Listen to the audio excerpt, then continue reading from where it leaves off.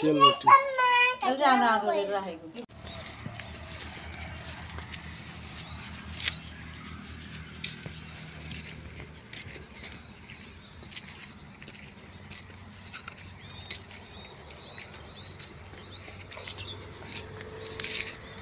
आऊ केटा आऊ आऊ आऊ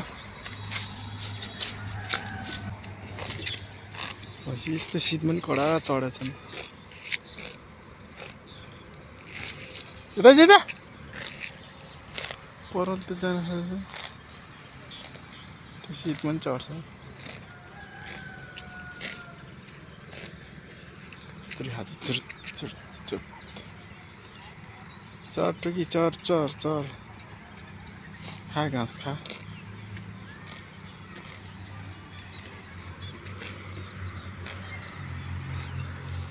रमाइलो भइरहेछ। अब धान काट्ने कार्यक्रम चलेछ। यस्तो मौसम धान काट्नेको मौसम छ है।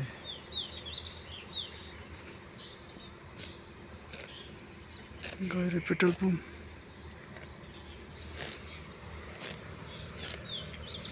आँपको रुखहरू पनि रहेछ। यता।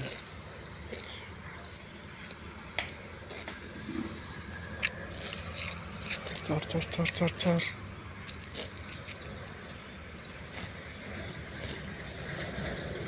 चढ यस्तो बिहान बिहानै घाम चड्किन्छ या आठ बजी। यता जा।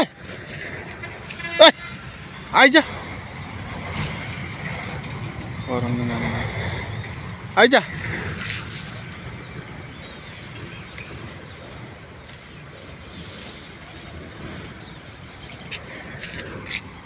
के गर्ने अब त्यस्तै त्यस्तै परिस्थिति भएको कारणले गर्दाखेरि होइन अब भिडियो हाल्न पनि पाइन्न यस्तै छ। अब पसिनो पसिनो भइसक्यो यति काम गर्ने बित्तिकै एकछिन काम गर्ने बित्तिकै पसिनै पसिनो भइहाल्छ के गर्ने? है अब चट्ट पारमा यो फु के अरे पुतली घुमिरहेको छ पहेँलो पुतली पहेँलो पुतली। हामीले सानो सानोमा एकदम सहमत थियो नि यस्तो पुतली।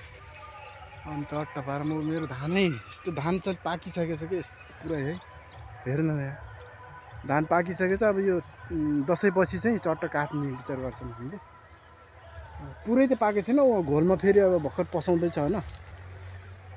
त्यही हो सो त्यही हो अब गाउँमा अब यस्तै त हो यार होइन?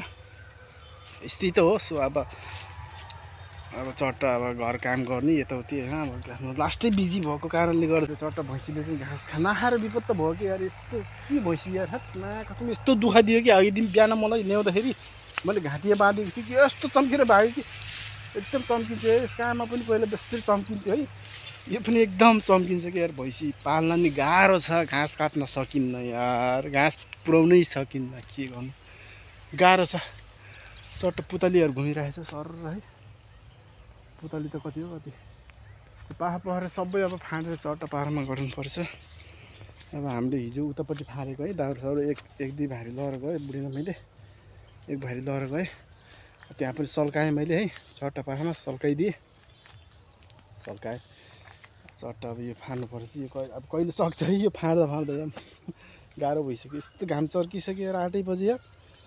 ल्याउँदै आठ बज्छ। शीतमा पनि अलिक चढ्दैन भइसक्यो फेरि होइन? त्यही भएर। गाह्रो छ।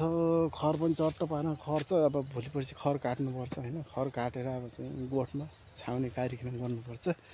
गाउँघरे जीवन त यस्तै रहेछ। बोडी पनि हल्का हल्का फलिरहेको रहेछ बोडी होइन बोडी बोडी झुन्डेछ अब उतापट्टि पनि फरेछ बोडी अब साग साग हेर। चट्ट पारेर साग।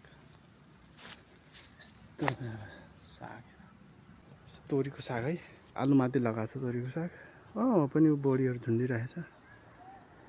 चट्ट पारामा। ऊ बोरीहरू बोरी हाम्रो बुहारीले लगाएको बोडी रे। झुन्डिसकेको छ यार। कात्तिकी बोडी है के हो कात्तिकी बोडी रे। यस्तरी फलेछ। अलिअलि फलेछ। भर्खर फल्दैछ। यहाँ आम्बा आम्बा। आम्बा पनि झुन्डेछ यहाँ। हिजोमा हिजो हामीले खायो। दुई चारवटा यसको नि यस्तो रातो छ कि। तलपट्टि यस्तो रा ए भित्रपट्टि यस्तो रातो छ कि। यो अलिअलि खाने भएछ होइन ठुलो हुन्छ यो अहिले पाएको छैन त। सानो बच्चै छ ठुलो हुन्छ। रातो हुन्छ यसको भित्र। क्या गुलियो छ। बहुत गुलियो छ हामीले खाएको त। गाई गाइजहरू आफू त यी गाउँले पार हो चट्ट पार भाइ। अब घाँस बोकेर चट्ट पार मारल गाडीमा हिँड्दैछु। के कस्तो लाग्छ तपाईँहरूलाई मेरो भिडियो? है लाइक सेयर कमेन्ट गर्न चाहिँ चट्ट पारमा नभुल्नु होला भन्दै हामी घर लागिरहेको अवस्था छ है।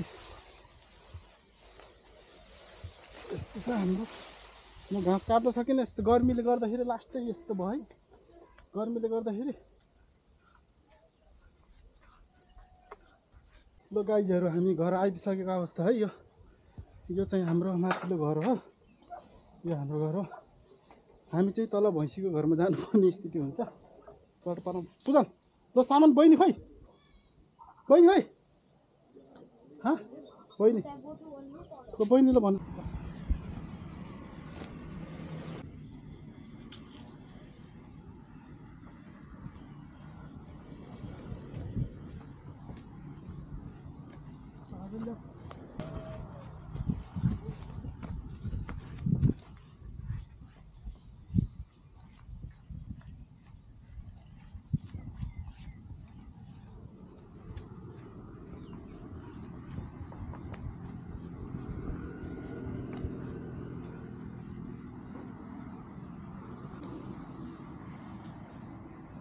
फाइनली हामी घर आइसक्यो अवस्था। लाइक एन्ड सब्सक्राइब गर्नु नभुल्नु है